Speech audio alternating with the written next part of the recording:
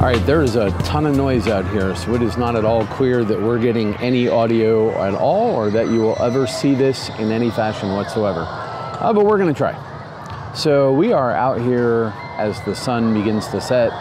Um, about, well, I think every year or maybe twice a year, depending, um, there's this little like circus that comes to town. So here, let me show you that.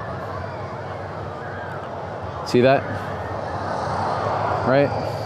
It's one of those little traveling caravan things where they sort of just um, pull into town and they unpack all the, you know, they unpack all the gear and then 99.9% um, of the time, I got to tell you, it rains when they do this.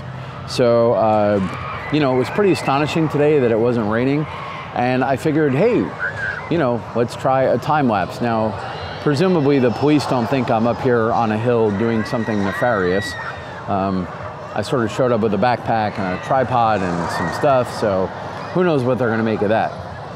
But what I've got here is uh, my G7 and I have my GoPro with me. Let me show you that. So this is, that's my GoPro setup. And because the time lapse is gonna take a while, I have it on an extra battery, which you can see right there. And that's on the uh, that's on a basic GorillaPod.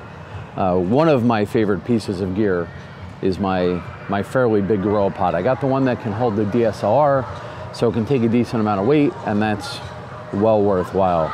I also have my um, G7 here. I got my G7 there, and there's the backpack I carry it all in. But um, I don't know, so I just figured I would uh, do a quick time lapse. I also think I might be able to take some of the shots with the G7 and turn that into a like a tilt shift. I don't know. I don't have a good telephoto lens for the G7, so I don't necessarily know that I can get far enough away uh, to make that relevant, but we are going to see what we get. Anyway, I'm not broadcasting this live because I want to cut it together with the final time lapse a little bit later on today in case anything good happens. I will probably jump live and do a quick update as well, um, just because I can't help it. All right, folks, I hope you enjoy, and I will talk to you later on. Um, oh, by the way, um, while we're talking, remember to like and subscribe my YouTube channel and my Facebook channel and et cetera, et cetera. Uh, we're gonna be doing a lot more of this out and about photo stuff now that summer is here.